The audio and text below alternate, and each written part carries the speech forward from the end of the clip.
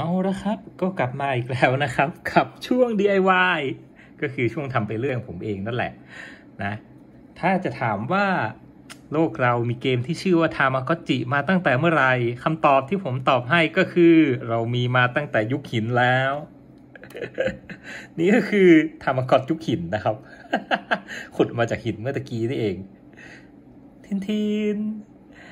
เปิดก่อน เนื่องจากของยุคหินมันก็จะแข็งหน่อยนี่เราต้องมาเลี้ยงไดโนเสาร์นี่นี่นี่โอ้ทำอะไรได้ก็ไม่รู้เนี่ยมันมีหิวด้วยมีหิวด้วยแหม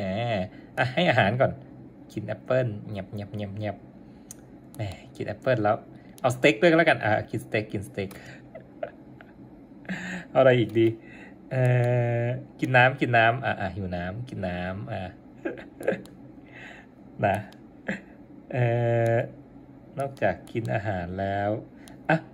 เล่นเกมโง่ๆกันหน่อย นี่ ยุคหินเก่ากระโดดโย่นี่เป็นหลักฐานว่ามนุษยชาติเรามีธรรมากอตมาตั้งแต่ยุคหินแล้ว อันนี้จงใจทาให้แบบสีดำๆเหมือนเอามาจากหินภูเขาไฟนะเนี่ย ก็คือมันเป็นเครื่องที่โชว์ในคลิปก่อนก่อนหน้านี้นั่นแหละ เพียงแต่ว่าตอนนี้เอามาทำให้มันดูดำๆเนาะอันนี้จริง ๆ มีเสียงด้วยนะ แต่ว่าเสียงมันค่อยมากเลย จนแบบแทบไม่ได้ยินอะไรเลย นี่ เราสามารถตรวจสอบดูอ่าอ่าให้มันหลับสักนิดหนึ่งนี่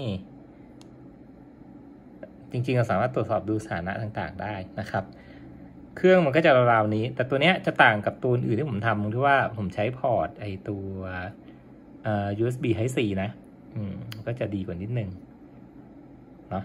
ก็เลยเอามาโชว์ว่าเสร็จแล้วนะครับ หน้าตาก็จะประมาณนี้อะไม่มีอะไรหรอกโชว์แค่นี้แหละ โอเค ไว้เจอกันคราวหน้ากันแล้วกันครับสำหรับวันนี้สวัสดีครับ